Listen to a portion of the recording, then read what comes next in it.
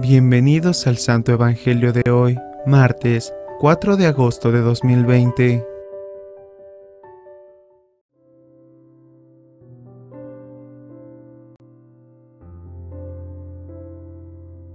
Lectura del libro de Jeremías. Palabra que Jeremías recibió del Señor. Así dice el Señor, Dios de Israel. Escribe en un libro todas las palabras que he dicho, porque así dice el Señor. Tu fractura es incurable, tu herida está enconada. No hay remedio para tu llaga no hay medicinas que te cierren la herida. Tus amigos te olvidaron, ya no te buscan.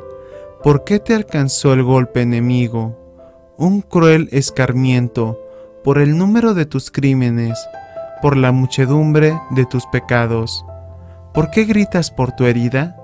Tu llaga es incurable, por el número de tus crímenes, por la muchedumbre de tus pecados. Te he tratado así Así dice el Señor, yo cambiaré la suerte de las tiendas de Jacob, me compadeceré de sus moradas, sobre sus ruinas será construida la ciudad, su palacio se sentará en su puesto, de ella saldrán alabanzas y gritos de alegría, los multiplicaré y no disminuirán, los honraré y no serán despreciados, serán sus hijos como en otro tiempo, la asamblea será estable en mi presencia. Castigaré a sus opresores, saldrá de ella un príncipe, su Señor saldrá de en medio de ella, me lo acercaré y se llegará a mí, pues, ¿quién, si no, se atrevería a acercarse a mí? Vosotros seréis mi pueblo, y yo seré vuestro Dios. Esto es palabra de Dios.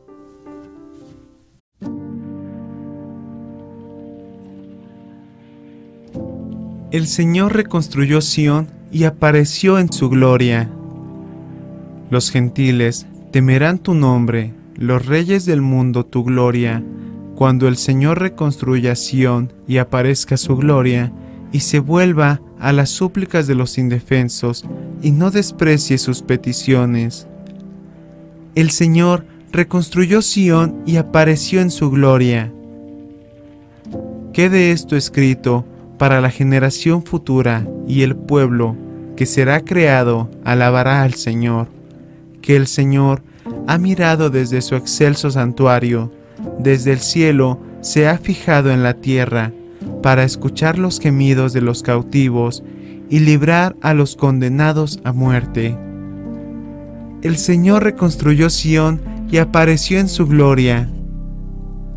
Los hijos de tus siervos vivirán seguros, su linaje durará en tu presencia, para anunciar en Sión el nombre del Señor y su alabanza en Jerusalén, cuando se reúnan unánimes los pueblos y los reyes para dar culto al Señor.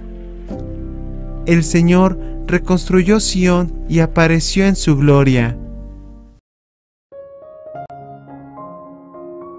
Lectura del Santo Evangelio según San Mateo.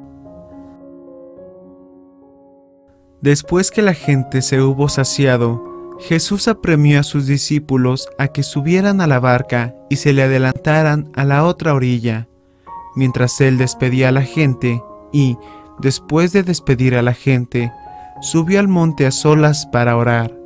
Llegada la noche, estaba allí solo. Mientras tanto, la barca iba ya muy lejos de tierra, sacudida por las olas, porque el viento era contrario.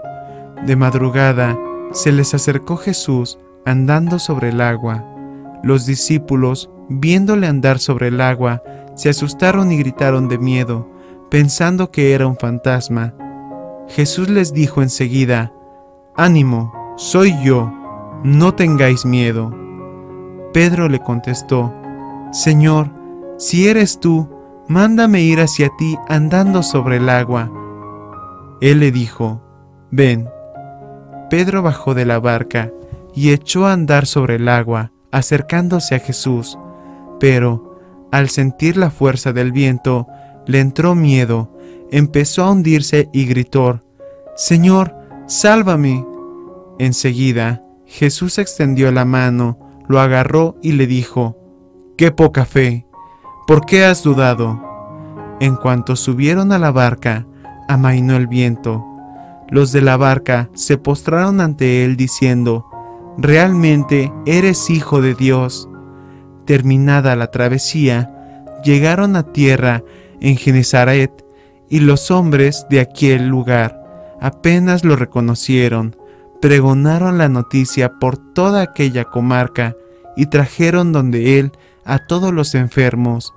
Le pedían tocar siquiera la orla de su manto, y cuantos la tocaron quedaron curados. Esto es palabra del Señor. Gloria a ti, Señor Jesús.